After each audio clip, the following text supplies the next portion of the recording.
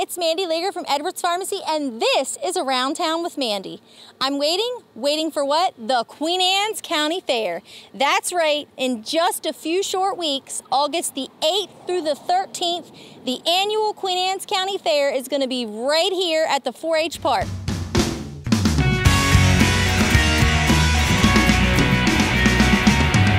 Here we are at the barbecue pit and the picnic pavilion. Remember, all week, Tuesday through Friday, you can get dinner right here. So the kids love animals. The Queen Anne's County Fair is the place to be.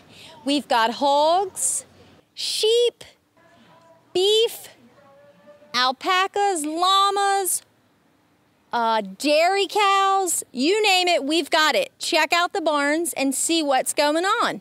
Right behind me here, as you can see, is where our local rides are. Lots of games and entertainment for the kids. As well as over to my right is going to be our Clover Seeds Interactive Farm. Um, come in, grab a passport, check out what's going on around the fair, get some stamps, make some crafts. It's new and will be here all week, every day from 5 to 7.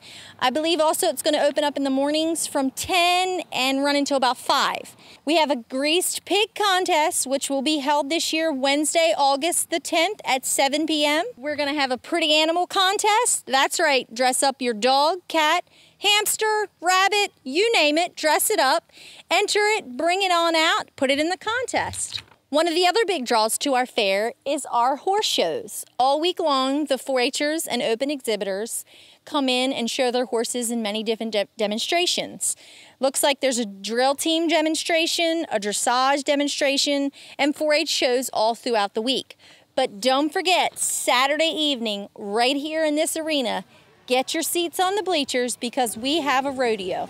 That's right, from 5 to 7, a family friendly rodeo right in this arena. You don't want to miss it.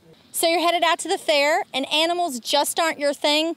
There's lots of events going on all week long. We have the opening ceremonies on Monday evening. We have the ambassador presentation following opening ceremonies the All Star Cake Auction, which happens Monday evening as well. Also, right behind me, we're going to have our annual truck and tractor pull. Saturday, August the 13th at 11. As well, we have my favorite event that I put on, uh, the Cornhole Tournament. Um, it will be held August the 13th, that Saturday morning, right behind the milking parlor. Um, registration's at 9.30 and bags fly at 10. That's just a sampling of what's going to happen this year at the Queen Anne's County Fair. I have yet to mention funnel cakes, ice cream, indoor 4-H exhibits, and adult tricycle races. That's right, right here in the main show ring, adult tricycle races. We'll see you next week to see what else is going to happen at this year's Queen Anne's County Fair. We'll see you next week.